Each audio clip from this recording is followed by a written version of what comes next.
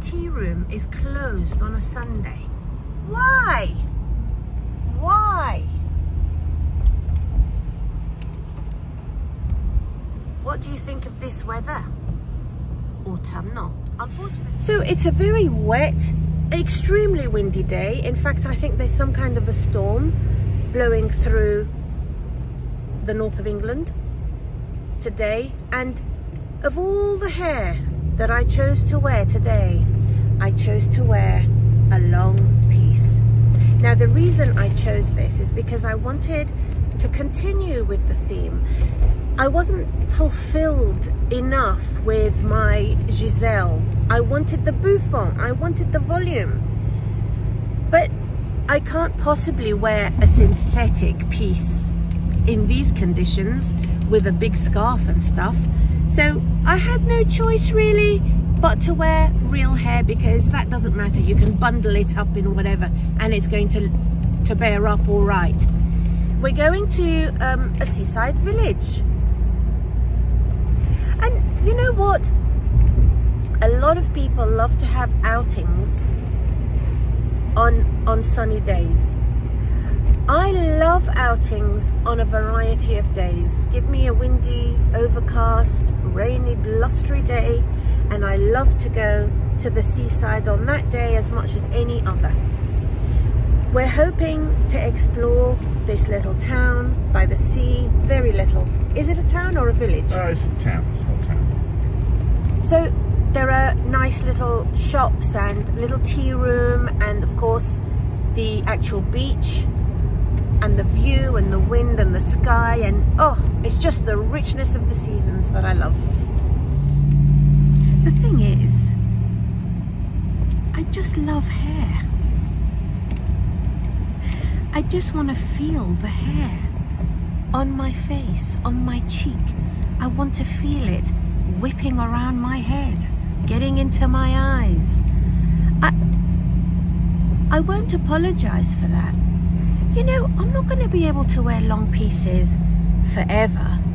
I just want to be able to do it while I'm able. I want to be able to just wrap myself in this while we're traveling, have a little doze, because no matter how much sleep I'm getting at the moment, it's never enough. And enjoy the sumptuous, soft, supple feel of this extremely sensual hair. Don't want to feel like I'm at work. I want to feel like my mind is liberated along with my hair. I know, Linda Six. I know that I sound a little bit bonkers, a lot bonkers. Sitting in my bedroom talking to wigs. Whoever would have thought that it would come to this? And I've gone one step further today. I want to wrap myself up in this in this wrap and just not worry about what my hair is doing. If it gets all wild in the wind, I want to enjoy that look. You know, that windswept, beautiful, tousled, carefree look just, just fills up my spirit, you know? When I'm back in Reese next week, I want to feel like I've had my fill like I've had my fill of long, unruly hair. Somehow or other, it just speaks to my soul, and and I, I bet you, you know exactly what I mean. The further along the path to the significance of hair and the qualities that hair has got, the more surprising this stuff is.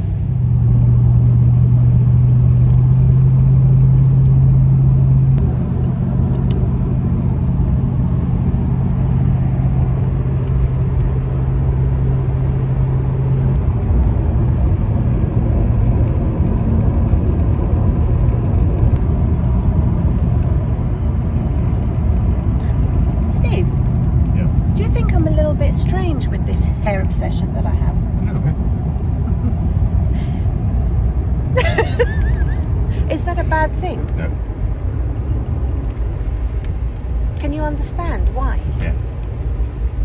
It's also a very good um, position to take with regard to always. It's a good position to take with regard to society in general, in that you should do the opposite generally to what society expects of you. Mhm. So being a bit weird about such a thing is actually probably quite a good thing. I suppose society would expect me to really obsess and worry about my hair loss and spend a whole load of money on different lotions and potions and spend half my time scouring the internet trying to find extortionate treatments for it. Or society definitely wouldn't expect me to actually not care a hoot as to whether my hair grows back or falls out or what happens to it.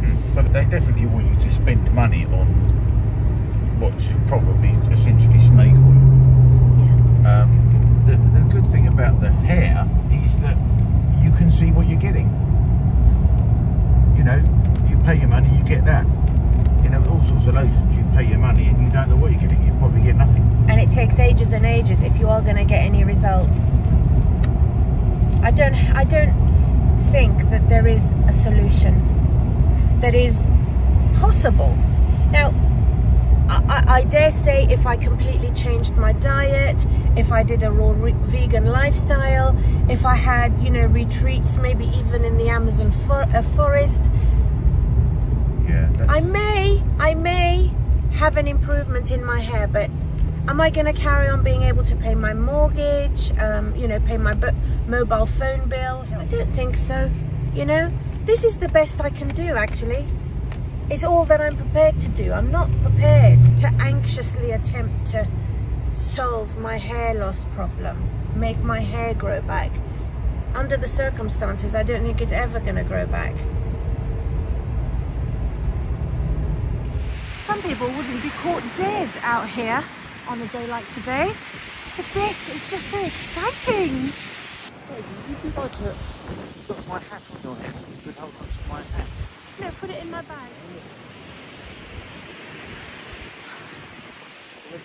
Just let the cobwebs blow away. For all you guys in the sun, this is how you really put your wig through her paces.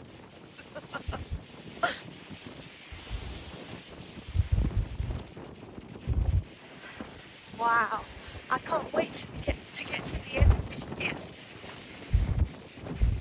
Look at the colour of that water occurred to me, ladies.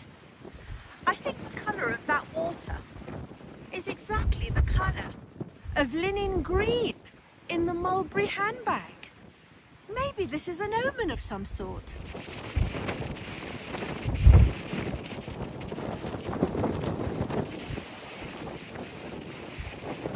Not bad.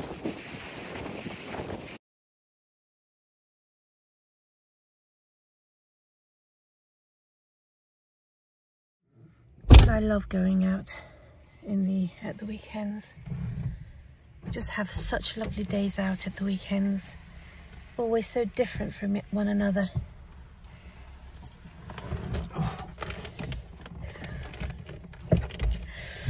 Well, we're gonna buy some stuff, make a roast dinner tonight,